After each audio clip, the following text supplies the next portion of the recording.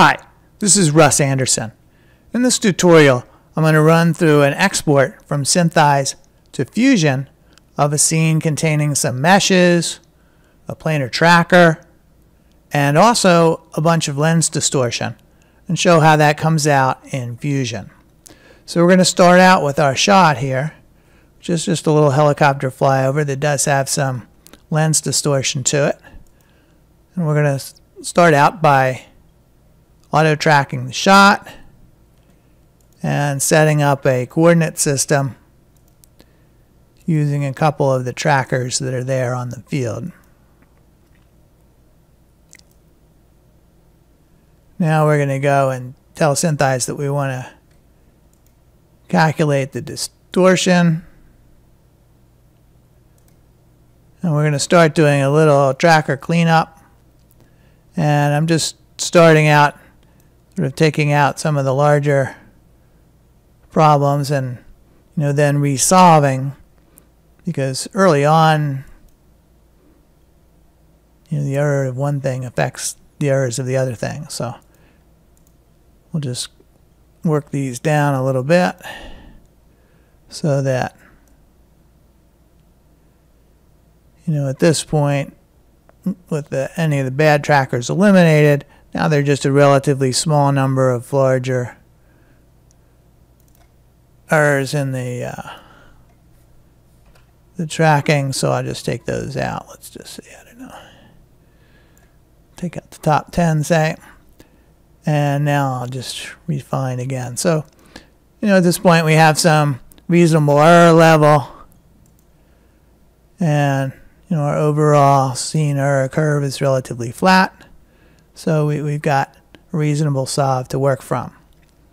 So let's go over and we'll start working in 3D.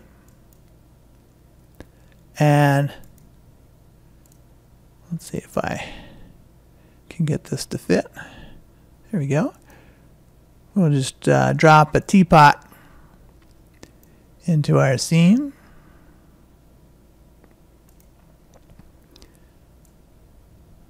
I'm just control dragging that handle to uh, be able to do a rotate. And let's also give ourselves a cylinder.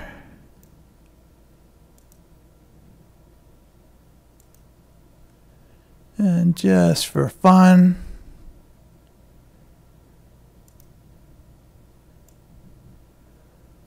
just stick that onto the teapot.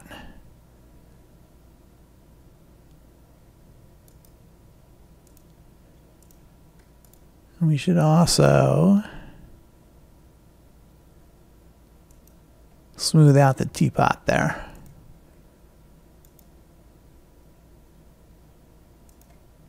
Maybe we'll replace it a little bit. So now we've got a uh, cylinder stuck onto a teapot. So that's what we'll be exporting as 3D objects. And now let's set up a planar. Since we already have the scene solved, we want to be sure to use the same lens for the 3D planar tracker. So I'm telling it that we want to use the computed lens value for this planar tracker. We're going to create it with a known field of view. We're just going to put, put it around this other field.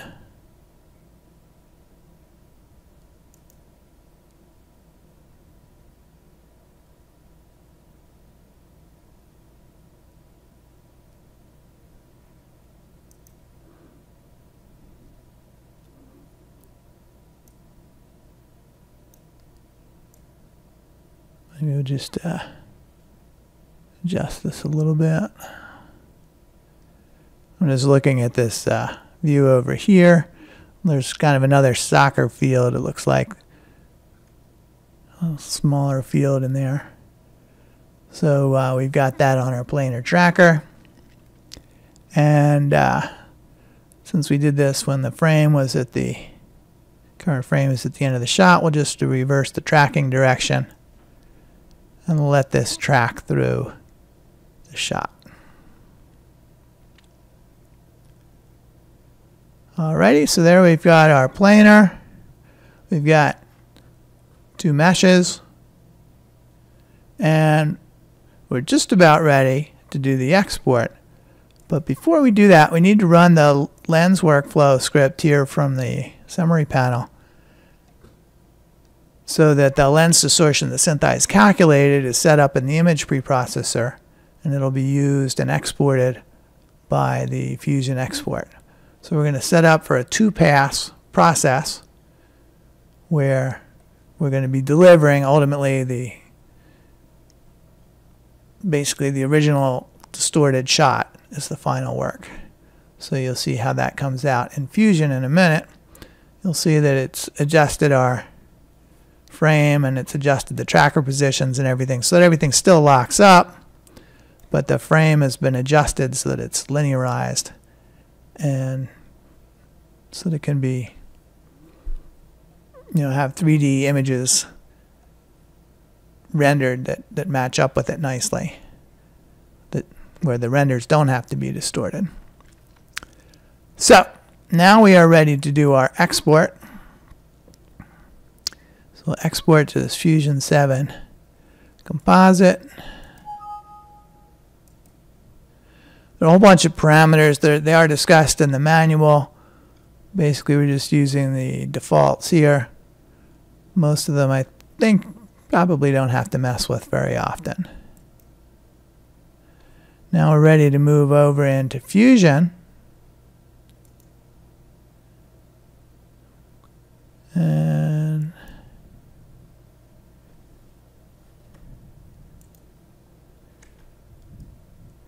here's our Fusion version of this shot. So here's our final output. Let's put it up on the view there. So in the views you see here are two different meshes. Here's our planar. And now let's walk through some of the things here. There's this uh, point cloud that's producing all the little features there. And while we're at it, I think we'll we'll turn off the make renderable part now for it. So that that's useful for setting up other things, but we won't need it here. We've got our planar there. Here it is. And in Fusion, it is a plane object.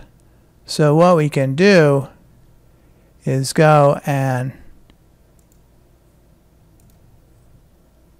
create a loader an image. We'll bring that and just drop that onto there. Whichever one that is.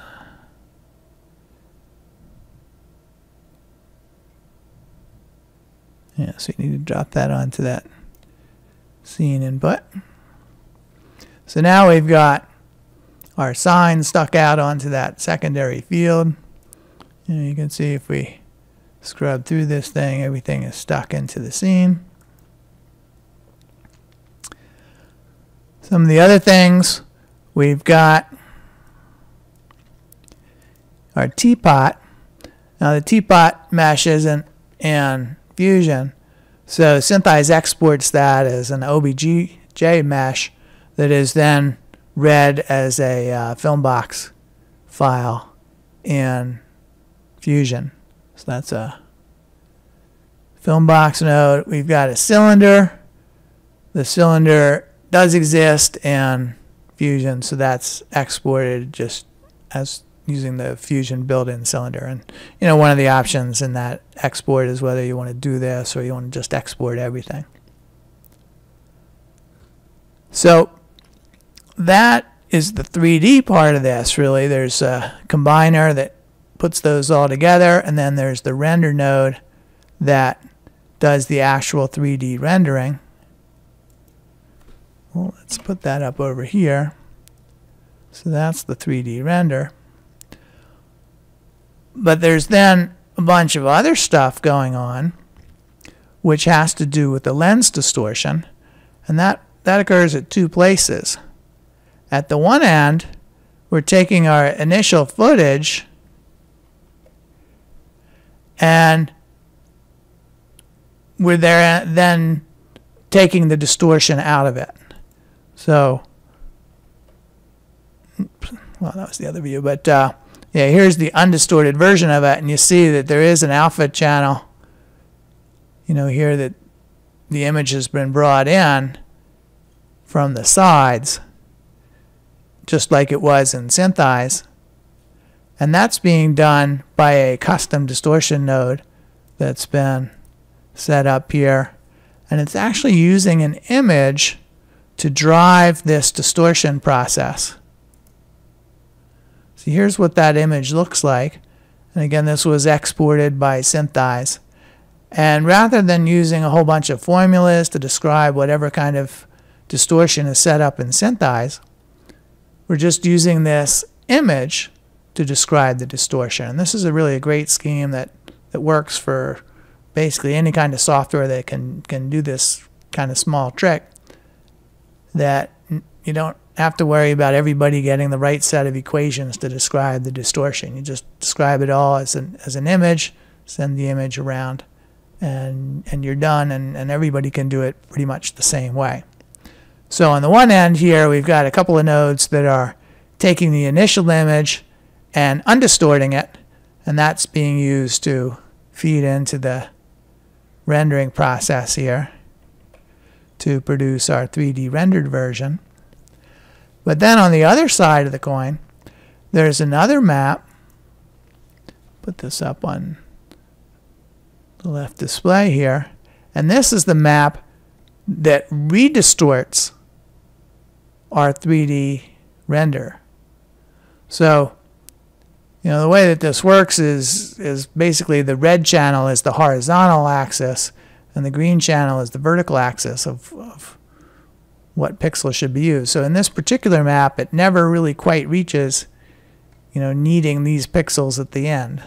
So rather than getting to, you know, a value of 1, it stops short of that because it's really getting this pixel down here to produce the redistorted version that fills the entire frame. So this is what that two-pass process is about. We start with the original images over here. We take the lens distortion out of them. We use that to do our compositing process, or to do the 3D rendering part of it. Everything matches up using those undistorted images. Then we render everything and uh, redistort it back to an image that matches the original. So question is, you know, why why do we do this, and and is this really what we want to be doing exactly? And the answer to that is no. What we really want to be doing is rather than just having this process of using the image as the background for this render, we want to be actually compositing this rendered image over the original image and avoiding a whole bunch of distortion and redistortion to the original images over here. So let's show how we do that setup. So what we're going to do is add a merge node. And we're going to set that over here. Now it's set it up as the background, but actually we want that to be the foreground node. We're going to take our original image and we're going to connect it to be the background image of the merge node. So this original image is kind of bypassing all of the undistortion and redistortion stuff and then getting composited directly with the 3D stuff.